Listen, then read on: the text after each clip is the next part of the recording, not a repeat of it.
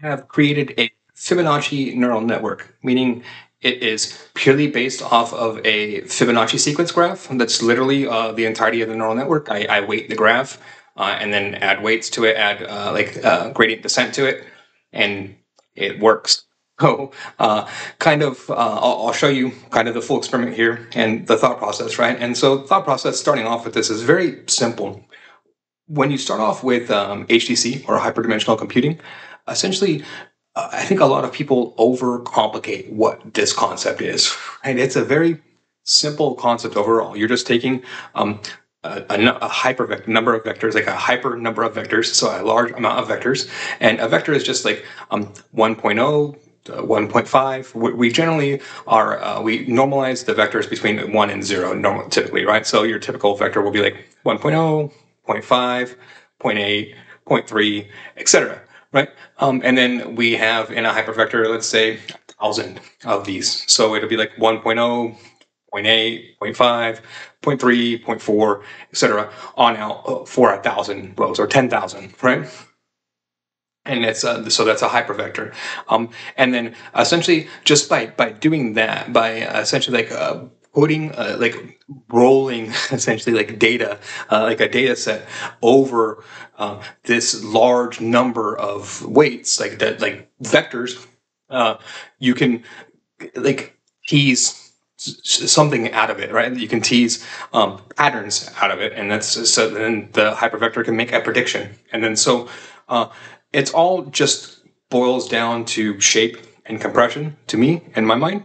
And then so that's my theory one 32 uh, is that this all boil like why that works like like just you know how you're like why hypervectors themselves work it's uh, complexity theory right? It's it's a if you um, have a complex enough system and, and a, a complex enough series of systems then they will compute um, and they'll they'll generate compute. And and I think that um, overall that's kind of how compute functions, right? It's, it's via complexity theory in and of itself. And then so this is just a flat out test of that.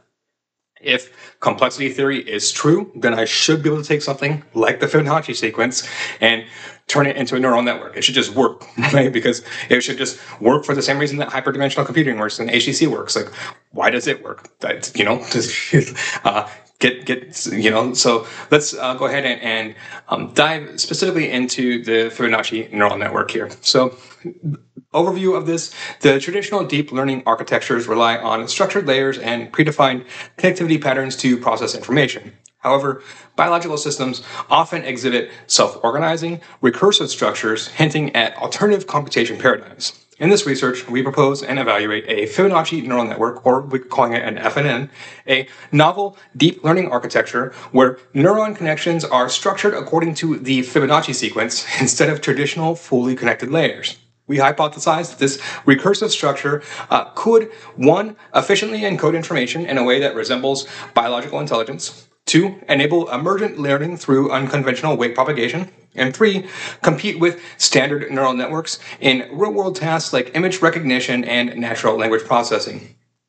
Before I dive into here, so just very simplistically, right, this is our um, base network structure for the Fibonacci neural network. And so this is step one, right, um, is, is let me map this out, make sure it works. And, and this is exactly how the, the neural network plays out, right? And then so it's 0, 1, 2, 3, 5, 8, 13, 21, 34, 55, 89, 144, 33, and 336. So up and up, right? Like the Fibonacci sequence. And then so I envision when we transfer this to weights that that's these are the weighted averages. So the weights would be 0, 1, 2, 3, 5, 8, 13, 21, 34, et cetera. So instead of that regularization, uh, instead of your weights being like um, 1.0, 0.8, 0.4, six point etc right it's they're literally and they're we know what they're going to be up front they're 0 1 2 3 5 8 13 21 34 55 89 144 233 and 377 like and that's that's our weight and that's our sequence and they're going to be connected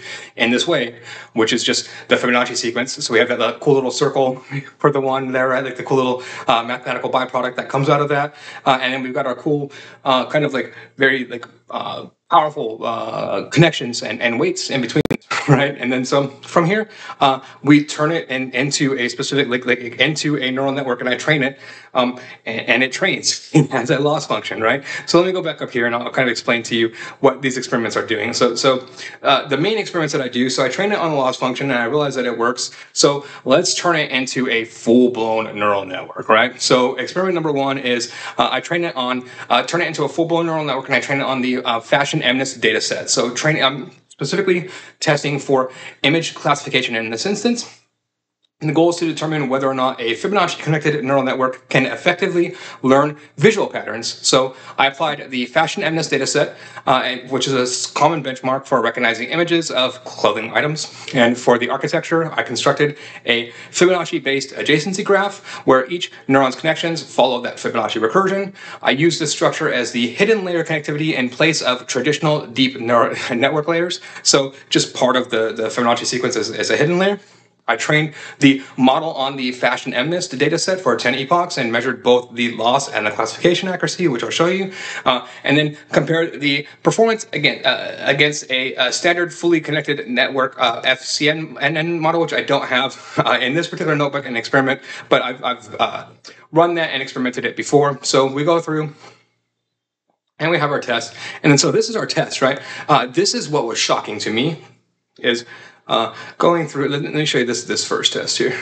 So uh, loss starts at 0.7322 and then it goes down to 0.4016. Um, and then this is just for five epochs, right? So I just train it for five epochs and then we get like a pretty standard loss, loss curve, right? This would be like what you would expect from any typical neural network. Like this would look very normal, normal and straightforward. Um, but let's go up here, right? So uh, I have my Fibonacci based graph. I turn that graph into a neural network model. I'm essentially just converting the graph uh, into weights. I only have the forward mechan- uh, the, the forward pass over it. Load the fashion MNIST dataset. Uh, make sure to translate that to the graph.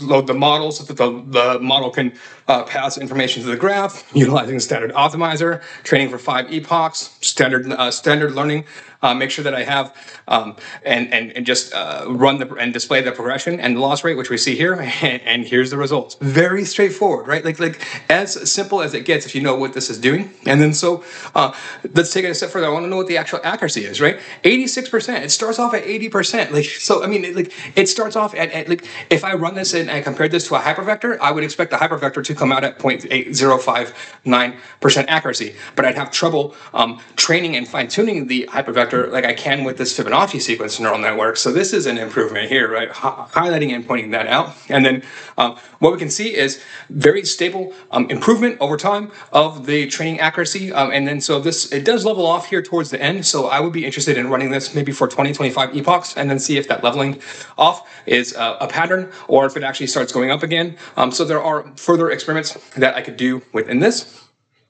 And then second experiment here is so uh, I want to test this like fully universally, right? Like so, um, first one is is we did image classification, and at eighty six percent like I, I am, um, am impressed. So let's test uh, natural language processing. Let's let's test uh, uh NLTK, right? So um, I, do, I uh, uh, next experiment is to assess whether the Fibonacci-based connectivity can generalize beyond just vision tasks, and then so we'll apply it to a text classification task, analyzing movie reviews from the IMDb sentiment analysis d- data set. So it's either it's uh, a classifying into positive or negative, and then so this is a classification task.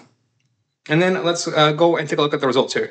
The results honestly just finished executing uh, as I was running this, so I don't know what the results are. Uh, I had to install a few extra packages in order to get this to run, um, including the Punkt dataset. Let me, let me highlight this. So Punkt is uh, big here, especially for NLTK. So if you're doing like um, testing with regards towards uh, text categorization, etc. Punkt P U N K T is like your best friend. Punkt Punkt. You'll you'll use Punkt like uh, all the time. uh, and then so let's go through. Amazing. So starts off at 79% accuracy and then ends at 82% accuracy. This loss rate is beautiful to me. Starts off at 0.58, goes down to 0.36. Uh, look here, we have our, our beautiful loss rate there.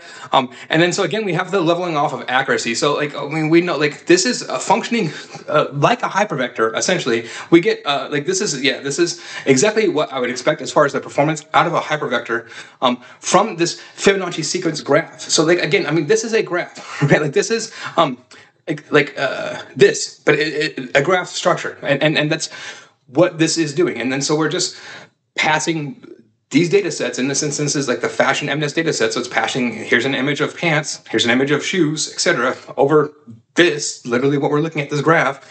And the graph is like, yeah, I can I can predict that with 80% accuracy. Or we're passing um, movie reviews. And it's like yeah i can i can predict that with 80% accuracy just by doing this or we're passing it over a graph. Like mind blown right? Like people under like why does ai fascinate me? Why do these things fascinate me? This fascinates me. I'm literally running data over a graph man. Like i can't uh, like like I, I, I, this if this doesn't fascinate you i i, I don't know. Like um, but so uh, here it is. I'll leave a link to this uh, Colab in the description of this video. If you like this type of content please like and subscribe